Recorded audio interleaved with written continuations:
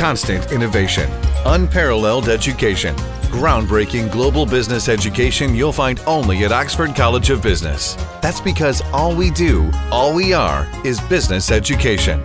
A group of LTTE sympathisers engaged in a protest near the Sri Lanka High Commission in London on the 4th of February, the day of Sri Lanka's independence.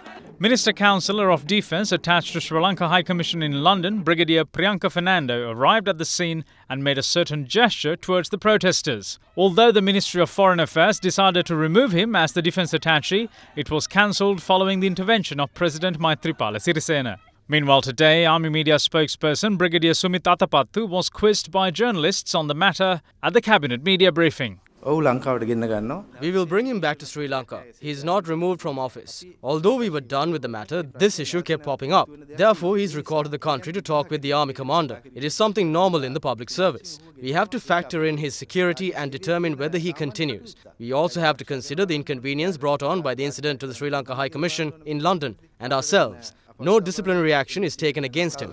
ඇවිල්ලා කතා කරනවා මොකද්ද වෙන්නේ කියලා. ඔහුව ලංකාවට ගෙන්නන්නට කියලා මේ බලපෑමක් තිබුණාද ශ්‍රී ලංකා රජයට බ්‍රිතාන්‍යයෙන් ඒ බලපෑම් මත ගෙන්නනවා There might have been influences, but that is not why we recalled him. He may or may not return to Britain.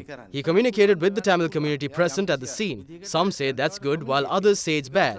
Our decision is that he didn't do anything harmful. එයා ඒච්චර හාම්ෆුල් දෙයක් කිරුවේ නෑ